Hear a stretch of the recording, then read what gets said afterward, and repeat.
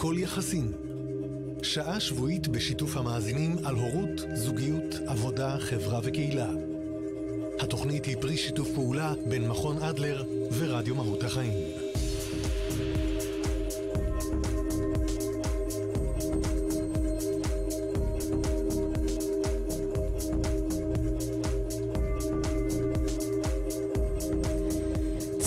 צהריים טובים, צהריים טובים. אה, שלום לך, דליה. שלום, דנה. שלום, גליה. שלום, דנה. אנחנו כאן בהכל יחסים, ברדיו מהות החיים, בשיתוף פעולה עם מכון אדלר.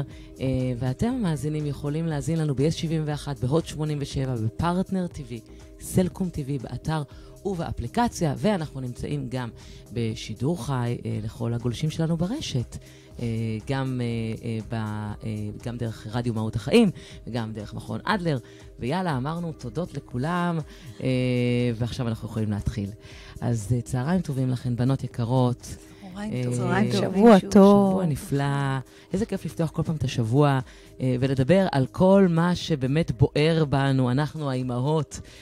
הדברים שככה אנחנו כל יום מנסים למצוא את הזמן לחשוב עליהם, אבל אנחנו לא ממש מוצאים. אז לנו יש את השעה שלנו, אה, ויחד איתנו אנחנו יכולים לחלוק עם עוד הרבה מאוד אה, צופים, גולשים ומאזינים ומאזינות. אה, והיום אנחנו נדבר על נושא שהוא... אני, אני לא יודעת אפילו איך להגדיר אותו, מרוב שהוא כל כך נוגע שעשית. בי. כן, הוא, את יודעת, הפינוק, הפינוק. אני חושבת שזה אה, נוגע בכל בית ובית בישראל. לגמרי. באמת, כאילו לא סתם עשית מ, כן, חתיכת נושא. זה גם משהו שבאיזשהו מקום, אני סוחבת אותו גם מילדות. זה חוצה הילדה דורות. מפונקת, דורות. בכל אתם. מפנקים את הילדה. זאת אומרת, זה משהו שכאילו תמיד אה, לקחתי אותו איתי, ואני בטוחה שהוא גם ניהל אותי בהרבה מאוד דברים ובהרבה בחירות שאני עושה בבית. אבל לפני שאני מדברת עליי, כי את זה אני הכי אוהבת, אה, אני רוצה לשמוע מכם, מה זה בכלל, אה, מה מוגדר כפינוק לפי התפיסה האד- האדלריאנית? בואי נתחיל ממה זה לא. אוקיי. כי זה נורא חשוב, כי אנשים מתבלבלים. לאהוב את הילד, לחבק אותו, לנשק אותו, להגיד לו מאה פעמים ביום אני אוהב אותך, את החיים שלי, זה לא פינוק. אוקיי. זה להביע אהבה, זה הכל. ילד לא נהיה מפונק בגלל שמישהו אמר לו יותר מדי פעמים שהוא אוהב אותו. מהמם. ילד פשוט מרגיש אהוב בגלל שמתנהגים אליו בדרך אוהבת. לגמרי. ולכן זה בסדר. זה אומרת, בסדר, אוקיי, זה חשוב. פשוט מזיזים את זה זה הצידה. מומלץ. מאוד מומלץ, כן. וכמה שיותר. כן. יש איזה שיר כזה, שאני לא זוכרת מי כתב, אה, כל ארבע שעות חיבוק, כל שעתיים נשיקה. לא מושלם? חווה? אלברשטיין. חווה, אלברשטיין? אוקיי. תודה לרפאל עיני שיושב כאן ונותן לנו את כל האינפורמציה שחסרה לנו, אה, וגם. אחראי על ההפקה הטכנית שלנו. ובהזדמנות זאת אני גם אגיד תודה לנועה אלבס, שמנהלת ומפיקה את אה, שידור הוידאו שלנו, אה, שכרגע משודר ברשת. כן. יפה. אז זה בסוגריים, ככה בקטנה. אז, אז זה לא, אוקיי? אז אני, אני פשוט מזיזה את זה הצידה עכשיו, כי כל מה שנגיד עכשיו על הפינוק, כן. לא כולל את הדבר הזה. אוקיי. אני, עכש- אני יכולה להוסיף עוד משהו שהוא כן, לא, גלי. ובדרך כלל יש נטייה לחשוב שזה זה. אה, ואני שמה על זה כוכבית, כי אנחנו יכולים... גם אה, פינוק חומרי הוא לא תמיד הפינוק שאליו אנחנו אה, אה, מדברות. כלומר, שעליו אנחנו מדברות, כלומר, יש, אפשר למצוא ילדים שמקבלים לא מעט חומר, כן? או נענים לרצונות מהמם. חומריים, והם עדיין לא מפונקים בהגדרה שלנו, שתכף נגיע אליה. כן, כן. כלומר, אני, אני, אני בכוונה שמה כוכבית, כי אולי נגיע להעמיק לא, זו בעניין כוכבית בעיניי החומרי. מאוד חשובה. בעניין החומרי, כי אני חושבת, כמו שהורים מתבלבלים עם מגע והפגנת חיבה, הם גם מת, מת, אה, מתבלבלים בעניין של החומר. אם קניתי לילד שלי מה שהוא רצה, מהמם. אז הוא מפונק, אז זה פינוק, ובואו נחשוב בכלל על מה ההורים אומרים, אתה מפונק. בדרך כלל זה מגיע כשילד מביע תסכול. אז נו, הוא מפונק, הוא לא יודע לקבל לא. הוא לא יודע, ואז יש לנו קצת ערבוב עם מה שאנחנו קוראים עולם הגבולות, מהמם. והיכולת להכיל תסכול שהיא לגמרי קשורה לפינוק, כן. אבל אולי נגיע לדבר גם על העניין החומרי, אבל קודם כל, זה, זה לא מאוד חשוב, אומר... כי זה הרבה פעמים נתפס כמשהו שהוא כאילו, כן, פינוק. אז אני תמיד אומרת, שאתה קונה מסתובבים לילד פה כל מה שהוא ילדים מבקש. שנקנה להם הרבה דברים, כי אנחנו יכולים, כי זה מתאים, כי אנחנו עושים את זה בהקשר הנכון, כי המוטיבציה שלנו היא נכונה. כן. זה לא כי אני מפחד מהילד שמא הוא יהיה מתוסכל. כן, אבל הבדיקה היא מה קורה אם לא קונים לו. בדיוק. שם אני אבדוק את הפינוק. נכון. מהמם. כי אם קונים לו וזה סבבה, ולא קונים לו וזה סבבה, מהמם. אז, אז, אז זה לא פינוק. אבל, יש אם גם לא עניין קונים של, לו, אה, ומה לו- המגיע לי... יש אגב הורים שקונים בכלל בלי שהילד דורש. כן. שהם אנשים כאלה של אה, נכון. אה, אנשי צריכה, והם קונים בלי שום קשר לדרישה של הילד. הם. פשוט קונים וקונים וקונים וקונים. ויכול להיות שזה כבר לוקח אותנו להגדרה שהילד מאוד עצמאי, וכן, בעל כישורי חיים טובים, ויכולת התמודדות עם תסכול. ואז זה עונה על הצורך של ההורה שלו פשוט לקנות הרבה חומר. אבל זה עדיין לא אומר במקרה כזה שהילד מפונק. כן. אז בוא כן, נעבור אני למה מבינה זה את מה כן. שאת אומרת. יש לי הרבה שאלות, דרך אגב, לגבי יאללה. זה, אבל אני רגע שנייה עוצרת את עצמי, כי אני רוצה כאילו רגע לדייק את עניין הפינוק, כן. כי, כי גם העניין של לתוך מה ילד גדל, לתוך איזה עולם, מה ההרגלים שלו, ועל בסיס שזה זה... ערכים כבר. נכון, ועל בסיס זה אני מאמינה שהוא uh, בעצם מפתח את האישיות שלו, uh, ואז אפשר להבין האם הוא מפונק או אם מתוסכל מדברים שהוא מקבל או לא מקבל. זה עולם ומלואו, אז אני רגע נכון. עוצרת את עצמי שנייה, למרות שקשה לי, קשה לי, ואני חוזרת אלייך, למה כן נחשב אז מה זה פינוק. כן? אנחנו מחלקים את זה לשני דברים עיקריים, אוקיי? הדבר הראשון זה שאנחנו עושים במקום הילד ועבור הילד שירותים מיותרים, מהמם, באופן קבוע, אוקיי. אוקיי? דברים שהילד כבר יכול לעשות לעצמו, אוקיי? אה, למשל, להתלבש לבד, להתקלח, זה מתחיל מהדברים הקטנים האלה, מהמם, שהוא כבר יכול לעשות את זה בעצמו, ואנחנו עדיין מספקים שירותים מיותרים, ולא נותנים לילד לפתח את העצמאות שלו. מהמם. אני אחר כך אתן עוד דוגמאות על דברים יותר מורכבים ממה זה פינוק, כי זה נראה לנו מובן. אימא שבגיל חמש עדיין מאכילה את הילד עם הפתיתים. זה- ומה קורה עם אימא שבגיל אה. אה, עשר, אה, מדי פעם גם עושה לילדה שלה מקלחת, כי הילדה נורא אוהבת שהיא מקלחת אותה. אמרת את הדבר הנכון. אמרת אוקיי. מדי פעם. אוקיי. אני מדברת על באופן קבוע, אוקיי. אוקיי? אם הילד יכול להכין לעצמו שוקו, שיכין לעצמו שוקו. זה לא אומר מהמם. שאם פעם ב- אומר לי, אמא, אולי את מכינה לי שוקו, אני את לא אכין לו, כי אני אגיד את לו. כן, אני לא אגיד לו, אה, לא, זה שירותים מיותרים. אתה כבר יודע לעשות לעצמך. לא, זה לא כזה. אני הולכת לצאת מהתוכנית היום, לדעתי, ו... לא יודעת אם אני בטוחה, לא בטוחה שאני אחזור הביתה. אני חושבת שאני בבעיה קשה מאוד. באמת? אני נורא נהנית לפנק את הילדות אוקיי, שלי. כאילו. להכין לה שוקו, הילדה במיטה. הולכת לישון. מה יותר כיף מזה שאימא באה אליה עם שוקו חם, ואומרת לה, בואי, מאמי, וזה הזמן איכות שלנו גם, ואני נותנת לה את השוקו. מה אני אשלח אותה עכשיו לקום לא, מהמיטה, לא, לא, את לא, השוקו? לא, לא, את מכינה לה את השוקו. אוקיי. עזבי. אני לא אני מדברת... בסדר. את זה- זו בסדר. הפגנת אני לא אה, מדברת- וגם בבוקר. היא רק נכון. התעוררה. מה, לא לא. כיף שאני מביאה לה את אז השוקו דנה, למיטה? יופי שאמרת את זה, כי כן. זה לא זה. אוקיי. זה מעולה, ואת רוצה, תעשי את זה כל בוקר ובאופן קבוע, וזה בסדר אני גמור. עושה, חמודה, בואי, אני עובדת קשה אצל הילדות שלי. השאלה היא, אם אני לא בכל דבר ועל כל עניין נוטלת את העצמאות ואת היכולת של הילדים שלי לעשות למען עצמם, מהמם. ועושה עבורם כל הזמן. אז גם אני עובדת קשה. נכון. בסדר, אני מכינה לה סנדוויצ'ים לבית ספר, כי אני רוצה לשלוח לה משהו ממני. לגמרי. אבל אם אני יושבת עם הסנדוויצ'ים האלה, וכל פעם אומרת, אוף, כבר ילדה גדולה, אני לא מבינה למה היא לא יכולה לעשות את זה לבד. רגע, רגע, אבל זה כבר את נוגעת פה בנקודה רגע שנייה שאני חייבת רגע לעצור. אוקיי? אני מפנה את זה שתיכן.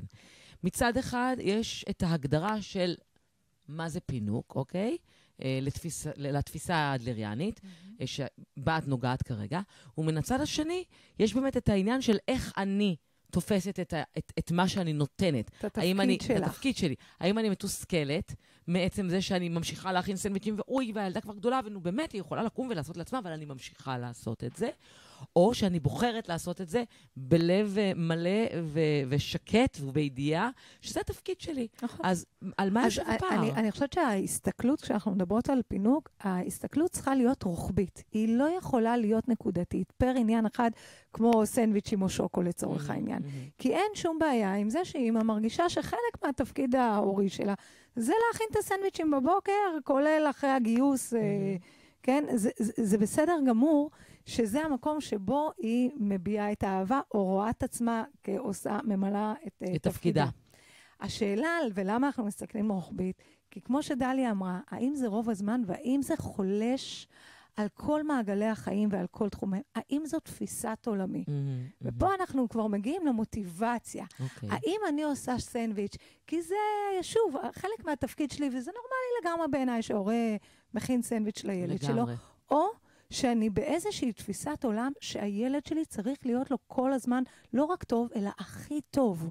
כדי שהוא יהיה מוצלח ומאושר, אני צריכה כל הזמן לסדר לו, לתת לו את התחושה שהוא מרכז, מרכז העולם. אוי, ואז אני הולכת הולכת הביתה, וזה- יאללה, ביי, היה ממש. נחמד. האם התפיסה תודה שלי, רבה, מספיק לי, עד כאן. האם אני חושבת שלילד שלי באופן קבוע. צריך להיות לא. פגז בחיים? כאילו, כן. החיים צריכים לבוא לו ב... בפאנלי במקסימום. כן, ואז כן. אנחנו מסתכלים רוחבי, כן, בעיה, תמשיכי לעשות סנדוויצ'ים. אבל השאלה, האם הילדה עכשיו צריכה להתמודד עם המורה, עם זה שהיא נכשלה במבחן והיא צריכה לבקש מועד ב'. Mm, את עושה את זה רגע, או שאת מדריכה אותה איך לעשות חשיבה. עצמאות היא קודם כל מחשבתית. כן.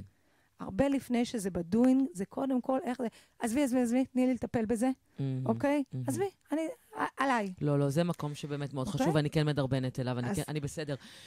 רק שנייה, נושמת? אני, רוצה להגיד לך, אוקיי, דנה, יש כמה נקודות שאני בסדר. מה שקרה לך, אה, קורה לי הרבה פעמים אה, עם הורים בהרצאות, לא בסדנאות. כי כן. בסדנאות אנחנו מגיעים לאיזשהו תהליך, וכשאנחנו מגיעים ל- לדבר על פינוק, כן, כאילו יש איזושהי הבנה כבר של כל מה שכן הם עושים בסדר. כן, בהרצאה, שזה אירוע חד פעמי, ואנחנו פתאום, פתאום עכשיו מתחילה לדבר על פינוק, כן. כולם יושבים קפוצים בכיסא, ומתחילים לחשוב מה הם עושים כל הזמן בשביל הילדים. כי אנחנו כל הזמן עושים דברים בשביל הילדים. ועדיין יש לנו רגשות אשם גם, בדיוק. שזה קשוח. ואז בעקבות זה, לפעמים, הרבה לא פעמים, נחמד. אנחנו גם באמת אולי מפנקים אובר, כי זה יושב על איזשהו צורך שלנו, שגם בזה אנחנו תכף ניגע. נכון. סליחה, עצרתי אותך, נכון. תמשיכי. אה, מה רציתי להגיד? בהרצאות, אה, שכולם... כן, אז אני, אני כאילו, אה, עם הזמן ועם הניסיון, שראיתי את הפרצופים של ההורים מולי בהרצאות, כן. כאילו, כן, ממש, את, את רואה את הרגשות אשמה, ואת רואה אותה לוחשת לו ומתעצבנת וכזה, אז אני כל הזמן מרגיעה, ואני כל הזמן מנסה להסביר שאנחנו כל הזמן נעשה דברים בשביל הילדים שלנו כשהם צעירים, וגם כשהם מתבגרים, וזה כן. בסדר. כן. השאלה היא באמת, כמו שגליה אמרה, מה תפיסת העולם שלי? האם הילדים מקבלים גם מקומות לעשות בעצמם, כן. או שכל הזמן אני לוקחת את זה אליי? ו- ויש לי, לי שתי דוגמאות, למשל, בכיתה ב', כן. את גרה בכפר סבא, אז אני לא יודעת אם חווית את זה, בתל אביב זה ככה, ש... לומדים על נוח, אה, ומקבלים שיעורי ברור. בית, להכין תיבת נוח. ברור, ברור, אוקיי. הפקה גדולה זאת הייתה. הפקה, אה, וואי, עליה. מה זה הפקה? הפקה. מי משתתף בהפקה, ההורים, דנה? מי מכין את? תיבת נוח? מי ההורים. התסריט? ברור. את סליחה. מגיעה למסדרונות אבל- כיתה ב', פה יש לי גם ביקורת ואת רואה אה, ילדים מסוימת על, מוכשרים? מה זה מוכשרים? באמת, אה, מעל המצופה. על המצופה. ואני חושבת שאנחנו מפספסים את המטרה העיקרית כן. כשאנחנו קופצים לעזור להם. לא, אם הם ביקשו עזרה זה משהו אחד, אבל הרבה פעמים אנחנו נדרכים על הדבר הזה ומתחילים, אני, יש לי רעיון, אני אגיד לך מה נעשה. ואנחנו הולכים וקונים את- את החומרים ומדביקים, והילד יושב ובסוף מניח את הג'ירפה בצריח. רגע, אז אני רוצה רגע לדייק. אתם, אתם אומרים כאן כמה דברים נורא נורא נורא חשובים. שנייה רגע נעשה סדר. למעשה, אה, עניין הפינוק כאילו באיזשהו אופן, תקנו אותי אם אני טועה, כאילו מתחלק בין אותם דברים שהם, אה, אה, נאמר, פיזיים, או כמו להתלבש ולהכין סנדוויצ'ים, אה, דברים שעל פניו, תפקידה של האימא, להיות עליהם רוב הזמן, לעתים לשחרר. ההורה, לא האימא. ההור- ההורה לגמרי, סליחה. האמא, האבא, היום באמת לא. נהיה פוליטיקלי קורקט. לגמרי, את צודקת מאה אחוז, יש לי גם בעל בבית שעושה גם את הדברים האלה, ייאמר לזכותו. יש דברים אחרים בעייתיים, אבל זה לא עכשיו. בכל אופן, אז יש את אה, הדברים לנו הרבה- אז יש את הדברים היומיומיים. היומיומיים. יש, ויש את ההכוונה למחשבה, ללאתגר את הילד. זאת אומרת, לתת לו אפשרות להתפתח. להתמודד, לייצר. עצמאות. זה, זה כאילו שני עולמות שונים. הייתי שמחה אם היינו יכולים כאילו לעשות מין איזו טבלה כזאת, אה, דמיונית, אוקיי? כדי שגם אנחנו, כולנו, נרגיש באיזשהו מקום איפה אפשר יותר לשחרר, ואיפה צריך טיפה יותר לאסוף ולהיות שם כאילו בשבילו. תראי, אחד, אני חושבת שככה זרקתי את זה תוך כדי, ואני אתן לזה רגע מקום, שהמטרה שלנו זה לאפשר לילדים שלנו התמודדויות מהמם. שהם יכולים להם, כן? שזה לא גדול על מידות הילד, כן? ילד יכול להתמודד עם זה, מהמם. ואני צריכה לאפשר לו את ההזדמנות לחוות את החוויה, את כל הפרוסס, מהמם. כן? כולל אם בסוף זה יביא איתו אכזבה, מהמם. או צער, או כישלון, או תחושה שאני לא... זה המקום שלי, בעצם, בלא לאפשר פינוק, אנחנו נגיע לזה, מה אנחנו צריכים לעשות, אבל מהמם.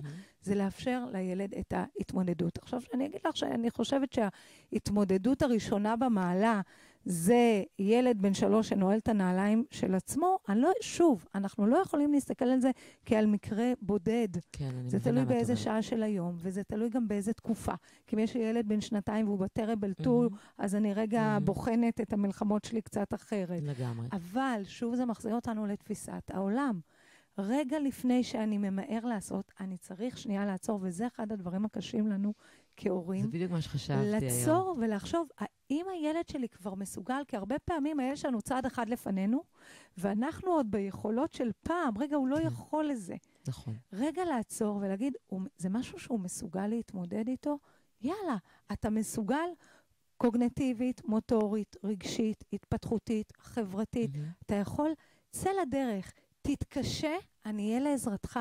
אני לא זורקת למים כן. מי שלא יודע לשחות, אבל אני צריכה קודם כל להאמין שהוא יודע אה, לשחות. אגב, ברור. אני, אפרופו הדוגמאות, אה, וגם נזכרתי, דליה הזכירה לי בעניין של ההרצאה, שנתתי את הדוגמה הזאת בהרצאה בשבוע האחרון בהקשר של, של פינוק. שאני מתמודדת עכשיו עם אחד הבנים שלי שהוא בכיתה ח', וכמו שקורה להרבה במעבר לחטיבה, שלוק, ככה הציונים.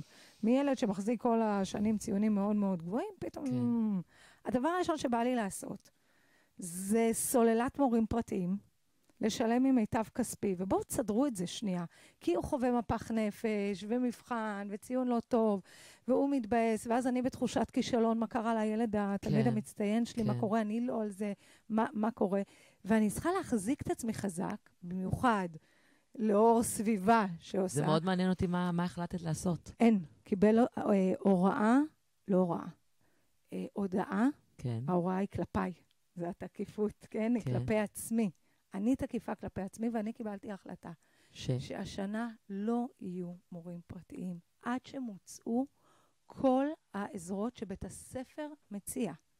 כי לפני שאני אאכיל אותך עם בכפית. ואלמד אותך שאתה לא צריך ללמוד בשיעור. כי אם את תשלם 150-170 שקל למורה הפרטית, ותבוא ותשב ככה, והיא תאכיל אותך עם. הכפית, אוקיי? רגע לפני, לך למורה שלך ותבדוק מתי שיעורי תגבור. תגיע לשיעור תגבור בשעת אפס שבא לו למות מזה, אבל אם אתה רוצה, תמצה, תפעל, תהיה אקטיביסט כדי לעזור לעצמך, מבטיחה שאם זה לא יספיק, אני אתן את שלי. הנה, את רואה, פה נפלתי הכי בגדול. למה? אגב, כן, את נתתי סוללה של אני- מורים פרטיים. בסדר, זה גם אה. שאלה באיזה שלב, בואי, אם זה בתיכון, היה ב- בתיכון, בתיכון. בסדר, אז אני בתיכון אין זמן, יש אנחנו בגרויות, יש בגרויות. אה, יש מטרה ברורה. המטרה שלי, כאילו, אני? המטרה שלי כאימא בהחלטה הזאת, קודם כל, אני חושבת עליה הרבה. ולא, אני אין לך אה. כאילו התחבטויות בשאלה לא, הזאת? כי אני מסתכלת על תקופת הזמן, אפרופו, שהיא עוד לא חורצת גורלות, כן? כן. וזה תלמיד כיתה ח', ועוד יש לנו הרבה כן. לאן, איפה לזוז. וההבנה שלי, השיח הוא מתוך הש... הרעיון של הפינוק. אני חייבת לאפשר לילד שלי, במקומות שהוא מסוגל, כן? שהם לא גדולים עליו, to hit the bottom. אתה חייב רגע להרגיש את אני התחושה הזאת. מבינה מה שאת אומרת, והלוואי והייתי יכולה לנהוג כמוך. אה, אני אבל אשאל בכל זאת שאלה שכנראה בגללה גם אני מתנהגת כמו שאני מתנהגת, כי הרי לא סתם, את יודעת, אתה בוחר לעשות עושה את הבחירות. אה, דווקא בעניין הזה שהוא כל כך אה, באמת אה, אישי אה, וסובייקטיבי, כאילו, כל אחד הרי יש לו יכולת התמודדות שהיא שונה, אה, והרבה פעמים באמת היכולת הקשבה, ההכלה של הילד בבית הספר, היא לא אותו דבר כמו באמת אחד על אחד עם מורה פרטי, אוקיי? אני לא מדברת על הפרעות קשב, את, את מדברת על זה מהמקום של הפינוק, ואני גם רוצה להתייחס לזה מהמקום לא הזה. אם יש סיבה אובייקטיבית שילד צריך עזרה. לא אם ילד באמת אובייקטיבית, אני אומרת- מתקשה וזקוק לעזרה כי הוא מתקשה, זה אני רגע אבל שמה איך את בצד. יכולה לדעת ולשים את האצבע? האם זה יושב על קושי? וזה, וזה דרך אגב גורף לכל שאלה שקשורה לפינוק בעיניי. כן, אני איך- מכירה את הילד ואני רואה מה מידת ההשקעה, השקעת המאמץ שלו. אוקיי, אוקיי, אבל את רואה את מידת ההשקעה שלו בבית, את רואה את מידת ההשקעה שלו בבית ספר, את מדברת... גם וגם. כאילו, אוקיי, ואת, ואת מבינה שמה, שהוא פשוט הסיר אחריות, שמתוך זה כאילו מגיע. שהוא היה רגיל שדברים הולכים יותר בקלות, אוקיי. ופתאום נדרש מאמץ. כן. ואז, כשנדרש מאמץ, אז השרירים שלי לא חזקים מספיק. אז עכשיו, האם כאימא, התפקיד שלי זה לדאוג שהוא ישפר את הציון, או שהוא יפתח יכולת התמודדות מהמם. וחיזוק השרירים כדי ברור, להתמודד זה עם הרבה יותר חשוב האתגר הבא? לפתח יכולת התמודדות. אז בעיניי יש זה. פה זה עוד עניין. שאני רוצה להוסיף, שהרבה פעמים, ברגע שאנחנו רואים תסכול אצל הילד, וילד שהיה רגיל לקבל ציונים גבוהים, ופתאום מתחיל לקבל ציונים נמוכים יותר, ועוד בהשוואה לחבריו שעדיין מקבלים, אז עולה תסכול. כן, בוודאי. ואז אנחנו קופצים למה? גם לפתור את התסכול. להגנה. לא רק את הציונים. נכון. נכון. ואני רוצה להראות לילד שלי שאני לא נלחצת מהתסכול הזה. מותר שתהיה ירידה בציונים. מותר להיכשל. מותר. בוודאי. מה קורה לנו כשאנחנו רואים את הציון הגרוע הזה? אנחנו ישר או, או קופצים או כועסים, ואני אמרתי לך, ואם היית לומד, אנחנו לוקחים את זה שוב אלינו. זו שוב לקיחת האחריות עליי בעניין שהוא שלו. כן, צריכה- נכון, אני מבינה מה שאת אומרת. בסדר, זה, זה גם נושא ענק שאנחנו נצטרך עוד לגעת בו, כי אני בדיוק במקום האחר. אני, אני לא מאלה שכועסת ומטיפה ומתאכזבת, אני מאלה שמקבלת... אבל את חושבת איך לפתור? אני חושבת איך לפתור איתה ביחד. אוקיי. אז או, אה, זה בדיוק מה שאת אומרת, לפתור איתה ביחד. נכון. לשאול אותה מה היית רוצה. נכון, אני שואלת אותה, ואני יודעת נכון? שנורא נורא קשה לה להקשיב. תראי, זה כבר תיכון, זה כיתה י"א. זה לא, זה כיתה שכבר די, זה עוד חודשיים בגרות ראשונה, ו, וכש, ואני גם יודעת מה זה להיות בכיתה י"א, שמעניין אותך דברים אחרים לגמרי. אני אשאל. אותך כולנו שאלה. היינו שמה, ואז הדרך שלי זה פשוט להיות, כאילו, קודם כל לתת לה את מה שהיא צריכה כדי להגיע למבחנים. אני לא יכולה כרגע ממש רגע, ללמד אבל אותה. השאלה שהיא אבן. הבוחן זה האם היא באה אלייך ואמרה, אמא, קשה לי ממש בכיתה, אני עושה כמיטב יכולתי. אני קולטת שקשה לי מאוד להתרכז. אני צריכה עזרה אה, אחרי הצהריים, בשעות אחר הצהריים. מהמם. האם המוטיבציה היא של הילד? האם המוטיבציה להיעזר, לקבל עזרה, היא של טובה. הילד לא, או היא שלך? היא שלי יותר. היא שלי יותר. אבל שוב, אני חושבת שילד בגיל ההתבגרות לא יבוא ולה, ויגיד ל- להורים שלו, רוב הילדים, אוקיי? כן. תקשיבו, אני רואה שיש לי. פה איזו הידרדרות בהיסטוריה, ונראה לי שכדאי ואני שאני... חושש לגורלי. קיבל איזשהו? חיזוק. זה כן איזושהי, הרבה פעמים הבנה שלנו, ההורים, שיש פה משהו שכדאי לחזק, כן. אבל אז אני באה ושואלת אותו, אני רואה ש... ומה אתה חושב שצריך לעשות? כן. כדי כן להניע לו את גלגלי המוטיבציה הפנימית. זאת אומרת, אני כן יכולה לשקף את הקושי שהילד זה לא ממש מעניין אותו, או שזה כן מעניין אותו והוא מסתובב עם זה ולא חושב לעשות עם זה משהו. מהמם. אז אני כן אדרבן טיפה ואשאל ואבדוק, אבל אשאל אותו קודם כל מה הוא חושב שצריך לעשות, לפני שאני אגיד לו מה אני חושבת. כן. ואם אני אחזיר את זה רגע לילד בכיתה ב' שמגיע ומספר לי שצריך לבנות תיבת נוח, אז אני אשאל אותו. אז מה בא לך לעשות? כאילו, יש לך רעיון? כי שוב, ילד בכיתה ב', אני צריכה לעזור לו לאסוף את זה. אני לא אומרת לו, סע לשלום, תסתדר. לגמרי. אני כן מכווינה אותו. לגמרי. ושהוא יגיד לי, חשבתי לעשות את זה. אני אספר לך מה קרה אצלנו. נו, שני ספרי לי, הילדים, ה- דליה. שני הילדים לי. הגדולים יותר. כן. אה, כמובן שהיה לי מלא מלא רעיונות. אני גם מזכירה לכם, אה, מהיותי אדריכלית אה, לשעבר, אה, זה לא ידעתי. לא ידעת, הנה, נחשפים להם. כאן סודות. כן. אז אה, לבנות מודלים ודברים כאלה, זה היה נהדר, הלחם שלי. זה. פשוט, אהבתי נורא לעשות את הדברים האלה, והיה לי נורא רק קשה חיכית שכבר להתאפק. ייתנו לך משימה כזאת בבית ספר. ומעיין כבר, כשהיא הגיעה לכיתה ב', היא הקטנה שלי, כן. כבר מאוד ישב אצלי, ומאוד היה, לי ברור שאני לא עושה לה שום תיבת נוח. ושאלתי אותה מה היא מציעה, והיא הציעה אה, לקחת קופסה של הסופר, היינו אז מזמינים אה, קופס, כאילו מהסופר, והיו מגיעות תמיד קופסאות כאלה חומות. כן, כן. היא תיקח קופסה של הסופר, ומשם היא כבר תתקדם עם זה. אמרתי, סבבה, יופי של רעיון. היא לקחה את הקופסה של הסופר, זרקה אליה את כל החיות, וצבעה את כולה, את כל איפה שכתוב כאילו את השם של הסופר, כן. אני לא אעשה פרסום, כן. צבעה את זה בחום. איך לומר? לא, אה, לא מהמם. תקשיבי, בדיוק. ואז שאלתי אותה אם יש משהו שהיא רוצה לבקש ממני. שבסאבטקסט. היא רצתה להגיד לה, תקשיבי, זה נורא מכוער, אולי נעשה משהו עם הדבר הזה. היה לי קשה. שהיא תבוא עם הדבר הזה, גם ידעתי מה הולך להיות אצל האחרים. כן. ואז אמרתי לה, את יודעת, מעיין, רוב ההורים יעזרו לילדים קשה. שלהם. כן. כן, זה קשה. ואני שמחה שאת עושה לבד, ואם את צריכה עזרה ממני, אני פה. אז היא ביקשה שאני אפתח לה חלונות.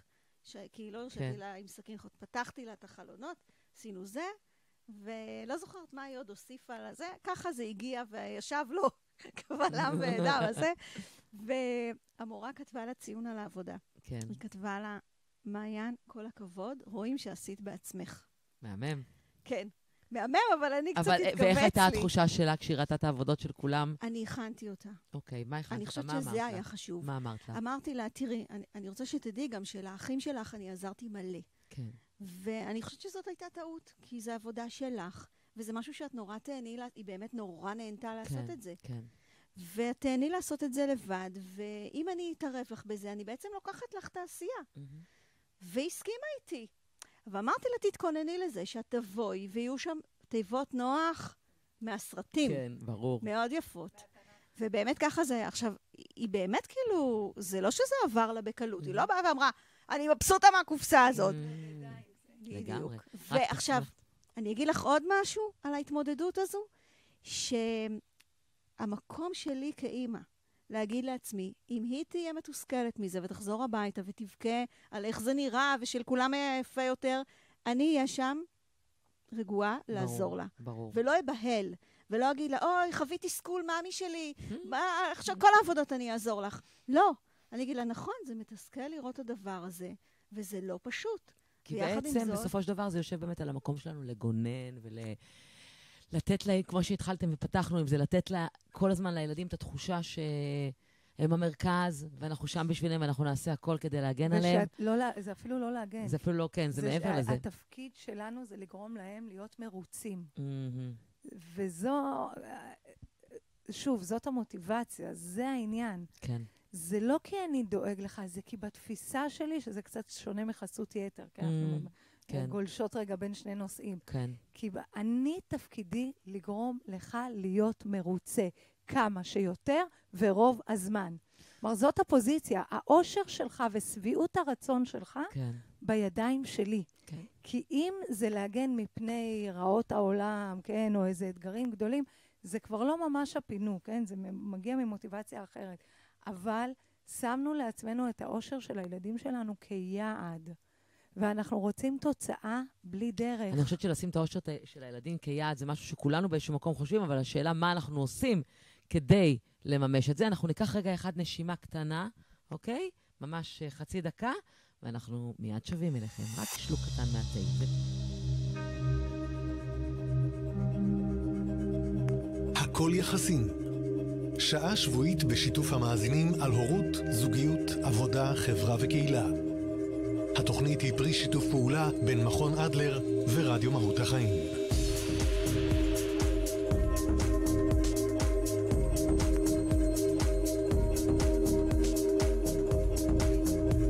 אז חזרתם אלינו, ואנחנו כאן בהכל יחסים, רדיו מהות החיים, בשיתוף עם מכון אדלר, דליה אילת וגליה אלכסנדר, מורות, אה, מנחות הורים ומורות במדרשה אה, של אדלר. אה, מדברים היום על פינוק, נושא מאוד מסעיר, ומי שיצטרף אלינו עכשיו יכול להאזין לנו ב-yes 71, הוט 87, פרטנר TV, סלקום TV, באתר ובאפליקציה, וכמובן ב-on demand. ואנחנו גם נמצאים בשידור חי, היי לכל הגולשים. אז חזרנו אליכם. נגענו בעניין קצת מהנקודה של אולי הת- התפיסה וההבנה של מה זה בכלל פינוק, עוד יש לי מלא מלא מלא שאלות, אבל כדי שנספיק היום גם להגיע קצת לתובנות של מה עושים כש או איך, אז אני רוצה קודם כל רגע לגעת אה, בכלל בסיבה שבגללה אנחנו מפנקים את הילדים שלנו. אז אני חושבת שגלי אמרה את הדבר העיקרי, אוקיי? שזה התפיסה שלנו, שאנחנו רוצים ילד שבע רצון, מהמם. שיהיה מבסוט. אבל יש כל כך הרבה דברים נוספים שמביאים אותנו לתת את השירותים המיותרים האלה. מהמם. ואחד מהם זה העומס שאנחנו חיים בו. כן. צריך לעשות מלא דברים כל היום. אני לא עכשיו אחכה שהוא ינעל את הנעליים, כי יאללה, אנחנו צריכים, אוקיי... בוא אני אקשור לך קדימה כן, ונצא. הצורך שלנו לתקתק. כן. עכשיו, אני לפעמים גם מציעה להורים בסדנאות, בואו ניתן להם לעזור בבית.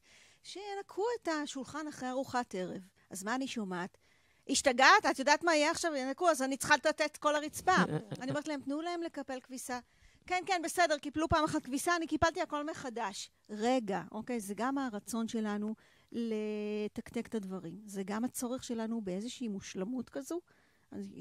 הדוגמה הנורא יפה היא המגבות של הכביסה. מהמם. שהם יעמדו אחד על השני, אחרת זה לא כמו שאני עושה. כן, אז אני אעשה את זה מהר יותר וטוב יותר-. כן. עוד דבר, זה התחרות שאנחנו הרבה פעמים חיים בה. אנחנו חיים בחברה תחרותית. הדוגמה של התיבת נוח, ששוב אני. אטפל אליה, של אה, מה יהיה אם היא תבוא עם תוצאה פחות במבחנים. טובה. כן. הציונים במבחנים. זאת אומרת, יש לנו כל כך הרבה... עכשיו, יש גם סיבות היסטוריות. האם פינקו אותי? נכון. ואם פינקו אותי, אז האם אני דור שני למפנקת, או נהפוך, או אני אומרת, לא, אני לא אעשה לילדים שלי מה שעשו לי, ואני לא מהמם. אפנק אותם. מהמם. עוד דבר זה האם קיבלתי. אם לא קיבלתי ויש לי חוסר, ואני יכולה לתת לילדים נכון. שלי, אז אני אתן להם. הרבה פעמים זה באמת יושב על זה. זאת אומרת, אני חושבת שהרבה פעמים אנחנו פועלים, ברוב הזמן וכמעט בכל התחומים, בעיניי, על או לעשות כמו שאתה מכיר וכמו שאתה חווית בבית שלך, או ללכת בדיוק ההפך. כי בגלל שלי זה היה ככה, אני בחיים לא אעשה את זה. וכאילו במקום לחפש את הדרך שלך, שלא יושבת או לא מותנית עם, ה- עם מה שאתה עברת בחיים, זה משהו שנורא נורא קשה לנו לעשות אותו. תמיד יש איזושהי השלכה למקום הזה. לגמרי. אי אפשר לנ- לנתק, יש את המשפט הזה, אפשר להוציא את הילד מהבית, אבל אבל לא אי אפשר להוציא את הבית מהילד. אז הבית תמיד אה, יישאר איתנו, בתוכנו, זה זורם לנו. כן, וכמו שאמרת, נורא יפה, זה או כמו בבית או הפוך מהבית. נכון. אבל ברגע שאני מודעת לזה, אז שם אני יכולה לשנות. כי לכאורה, אין לי בחירה. זה כל הזמן בהתאם למשהו, או מנוגד מהמם. או אותו דבר. מהמם. ואז אין לי בחירה. כן. אבל אם אני פתאום עוצרת וחושבת, וזה מה שאנחנו עושות פה למשל בתוכנית, או בסדנאות הורים, או... שנייה אחת אתה עוצר וחושב על ההורות שלך, ומה מהמם. היית רוצה שיהיה, שם אני יכולה לעשות את השינוי. כן. ופה אני יכולה להגיד, נכון, לי לא היה, ונורא חשוב לי לתת לילדים, אבל עכשיו בואו נראה מה זה עושה. כן. אני חושבת שעוד דבר, תכף אנחנו ניגע בזה באמת, במה זה עושה. ולמה זה קורה, בטח בתקופה של היום, לא. משנה שאדלר כתב על זה ודרייקורס שכתב את זה אחרי זה לפני יותר ממאה שנה, אבל כן. כמה זה רלוונטי. שברגע ש... אחד הדברים שקורים זה אחד שאנחנו דור הורים מאוד עמוס, ויש איזו כזאת אה, רמה מאוד גבוהה של אינטנסיביות ביומיום. כן. אז אתה גם לא רוצה להתעמת עם ילד מתוסכל, ואתה גם רוצה שהמגבות, כמו שדליה אמרה, וגם אנחנו קונים הרבה שירותים בכסף, כמו את אותה מורה פרטית. כי פעם שהיד לא הייתה משגת, נכון. אז לא היו ממהרים להביא אה, מורה פרטית, נכון? והילד צריך היה לעשות מאמץ להתקדם מה-60 שלו ל-80 ושלו. הוא היה צריך להשקיע משהו שמגיע מעצמו. והיום אנחנו משלמים לעוזרת ולשטיפת המכוניות ולמורה הפרטית, וכן, אנחנו משל... קונים הרבה שירותים בכסף, ובדרך המפסידים העיקריים זה הילדים שלנו. כי הם לא נדרשים להתמודדויות ולעשייה יומיומית, רוטינית, ב-ongoing. מהמם. פעם ילדים הבינו שאם הם לא יכניסו כלים למדיח, לא יהיה, לא יהיו כלים, כן. הם לא יגיעו יש לשם. לי שאלה מאוד חשובה, יש לי שתי שאלות. אני צריכה לזכור את שתיהן. אחת, תכף אני אגיד לך באוזן. אני אתחיל איתך. אמ, רגע, רגע, עכשיו, ברוב שחשבתי על שתי שאלות, קפ- קפץ לי קו המחשבה. אה, אוקיי, מה קורה כשאני מזהה שהילדה שלי, יש דברים, מקצועות לצורך העניין, שהיא מאוד אוהבת, ושם היא מאוד משקיעה. זאת אומרת שאם מדברים על מוטיבציה, אני רואה שהמוטיבציה הזאת קיימת, ואני רואה שכשיש משהו שמעניין אותה, היא עליו, ובעיניי לחיים זה הכי חשוב, אוקיי? כי בסופו של דבר אני מאמינה, וככה גם אני מחנכת את הילדות שלי, ל- ליצור מתוך תשוקה, לעשות מתוך תשוקה. אוקיי, לא כי חייבים, לא כי מישהו אמר לך, לא רק בשביל ההישגים, כי בא לך, כי זה Mhm. ממלא אותך. ובמקומות אחרים, במקצועות אחרים לצורך העניין, שהיא לא מבינה, שהיא מתוסכלת מזה שהיא לא מבינה, שאין לה עניין, היא פחות משקיעה, אוקיי? אז מה אתה עושה? כי פה יש עניין, מבינה מה אני אומרת? שאתה כן מזהה מוטיבציה שמתקיימת כשיש משהו שמעניין את הילד. זה לא שהילד חסר מוטיבציה, הוא חסר מוטיבציה במקומות שהוא מזהה שהם, אני לא יודעת אם זה רק יותר קשים לו, כמו פחות מעניינים אותו. כמו שדליה אמרה, קודם כל, once יש מוטיבציה, יש מוטיבציה. נכון. לכולנו יש אותה במקומות מסוימים, נכון. ובמקומות אחרים פחות. היא לא גורפת על אוקיי. כל תחום על... האם התפקיד שלי עכשיו זה לדאוג שהיא תמשיך לצבור הצלחות, כי אני סידרתי את ההצלחות האלה, את תחושת הסיפוק וה... אני חושבת זה? שלא. נכון? אני ולכן, חושבת שאני, ברגע אמרה- שאני מזהה שיש, סתם, אני אומרת לכם את משנתי, אולי אני צודקת, אולי אני טועה, כי אמרתי, יכול להיות שאני אלך כפופת ראש היום מהשידור. אני חושבת שכשברגע שאני מזהה שלילדה יש מוטיבציה, ברגע שיש משהו שמדליק אותה, שהיא אוקיי, אוהבת, אבל מה שיש עם לה תשוקה, היסטוריה שהיא לא לומדת? היא תתמודד. להתמודד עם זה. יפה. זה, זה. מה אני יכולה, כמה זה אפשר? זה. אתה עד עוזר, היום אתה מנסה. שהיא תבין כשהיא... מה המשמעות נכון, של לפעמים בהיסטוריה בחיי התיאטרון שלה. אבל היא תהיה חייבת לעבור את זה לבד. לגמרי. זה לא יעזור שאני אדבר את זה. לגמרי. היא תצטרך לא- אולי להיכשל ולהבין שיש לזה משמעות, ואז אולי אני- להשלים, אני לא יודעת. אני לא יכולה ללכת עם אה, מצ'טה בתוך ג'ונגל לפני הילדה שלי, וכל הזמן לפנות לה את הענפים לא ואת כל הסלעים הזמן, אבל יש, מהדרך. יש, אה, יש פעמים שכן תצטרכי לגמרי, לעשות את זה, נכון, נכון? ואני אעשה את זה. כשיש לך יותר טרף מסביב, או, אז את תעשי את זה, נכון? לך. אבל כשיש- אז אני ממ- ממננת? ממננת. ממננת? כן, ממננת, כן. זו המילה. אבל אז אני ממננת. כן, מהמילה מינון. ה- כן, בדיוק. מחליטה, בוחרת מפעילה מתי. שיקול בוחרת. דעת. זה לא האינסטינקט הזה של כל הזמן לקפוץ להציל אותם, וכל Mhm. הזמן לקפ- לקפוץ לפתור להם. כן. אלא לתת להם להתמודד בעצמם עם כל המכשולים האלה. כשאני עשיתי את הסדנת הורים, אני חושבת שהמנחה אמרה, אני, אני ממליצה להורים לקחת את העגלה של התינוק ולשים בתוכה אבנים, כדי שהיא תהיה כבדה. Mm, שנבין שזה לא פשוט המסע הזה, לגמרי. זה לא עלי חלק. לגמרי. ובאמת, מזכיר לי את השאלה השנייה שרציתי, כן. זה לא בדיוק שאלה.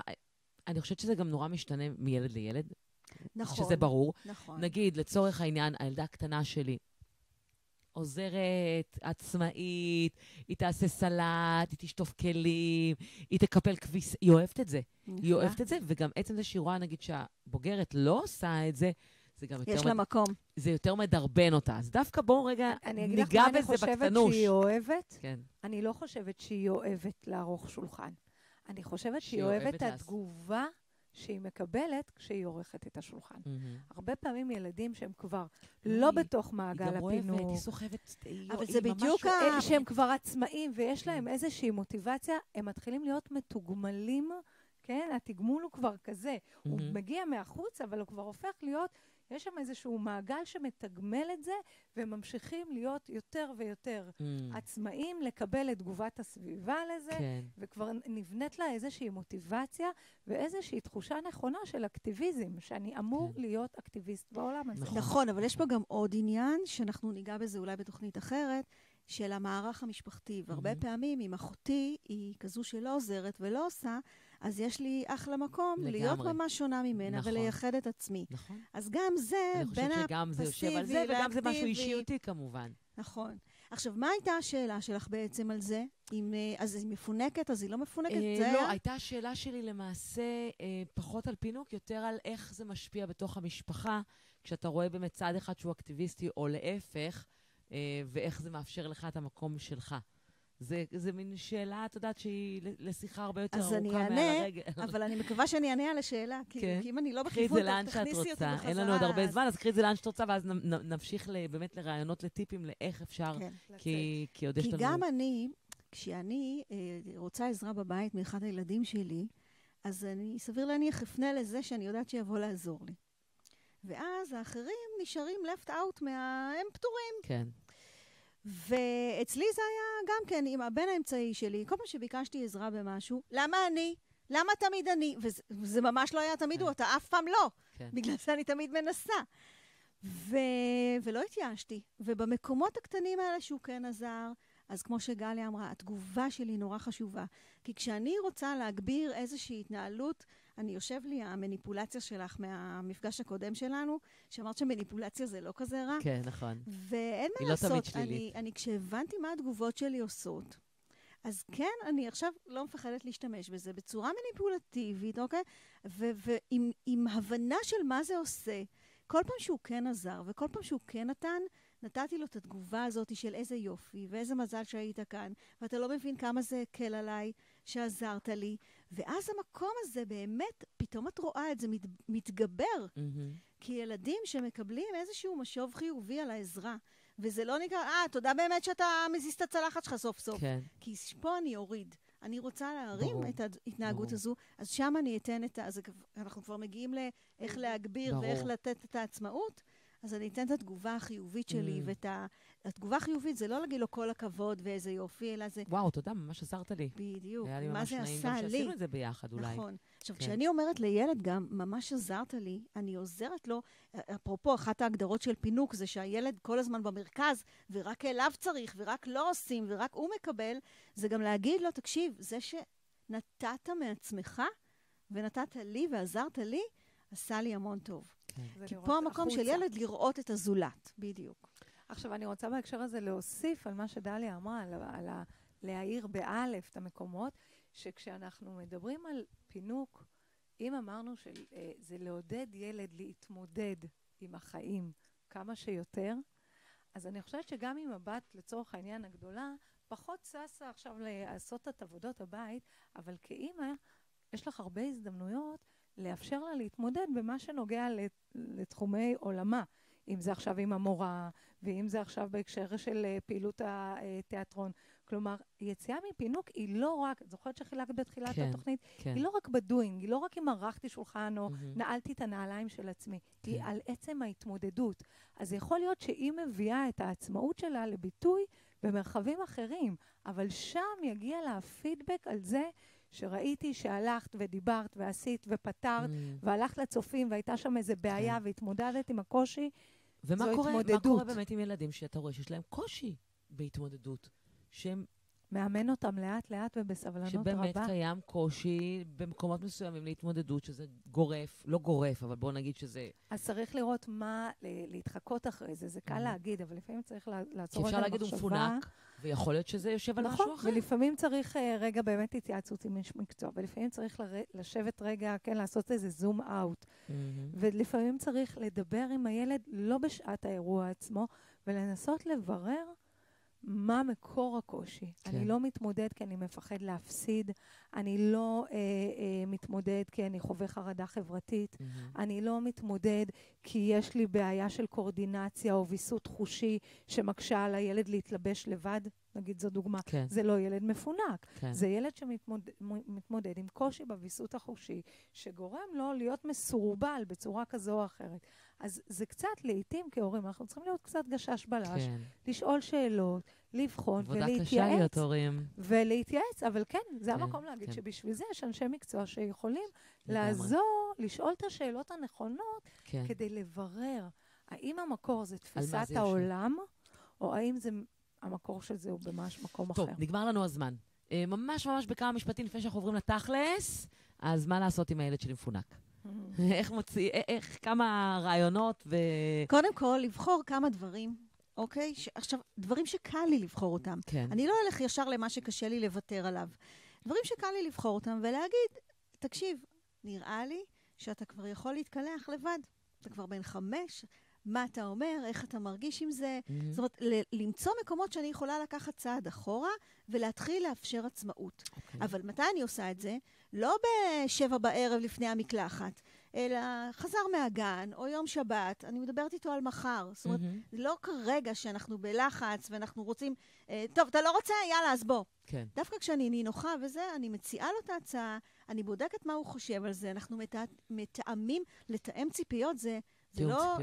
לתווך ציפיות, זה כן. להגיד ביחד, לתאם, מה לא אנחנו לתווך, זה מאוד חשוב. לא. להגיד לא למה אני מצפה, אלא נכון, לשמוע קודם כל אולי ממנו לפני, נכון. לא? ואז הורים שואלים אותי לפעמים, אז באיזה גיל אני אמורה לצפות שהוא יעמוד בהבטחה שלו? אז אני לא מצפה. אני מצפה אוקיי. שאני אעמוד בהסכם הזה, לא הילד. אוקיי. כן, מה את אומרת? אה, אני חושבת ש... אחד השלבים הראשונים, בא לי להגיד הראשון, אבל אז גם מה שדליה אמרה, חשוב שהוא יהיה ראשון. אז אחד הדברים שחשוב שנדבר לעצמנו כהורים, זה ההבנה שהילד שלי לא אמור להיות כל הזמן מרוצה. כולל להגיד, אני, אפשר, אני יודעת שאתה לא מרוצה, ואני אאפשר לך להיות לא מרוצה, וזה בסדר. כלומר, לדעת לשהות במקום הזה שהילד שלי לא מרוצה בו, לא למהר להגיב. ולפעול ב, במקום הזה. כי כמו שאמרנו, זה, יש פה אה, שני מישורים לעבודה. זה כן. אחד, תפיסת העולם, והשני זה כבר ממש בדוינג, איך זה נכנס ביום-יום. אני חושבת שעוד דבר שחשוב להבין ביציאה מפינוק, זה שעושים את זה לאט-לאט ובטוח. אתה לא קם יום אחד ואומר, יאללה, אני לא עושה בשבילך שום דבר, קום, אה, קום וצא לדרך, ואני לא בתמונה. אלא מתוך הבנה שהתפקיד שלי זה לזמן לילד שלי התמודדויות. כן, אני חושבת שזה באמת, לסיכום, הדבר המשמעותי. שכשאנחנו מדברים על פינוק, אנחנו לא מדברים על החיבוקים והנשיקות ועל להקריא את הסיפור ועל להביא את השוקו בסדר במינון הנכון, זה בסדר Mhm. תמיד.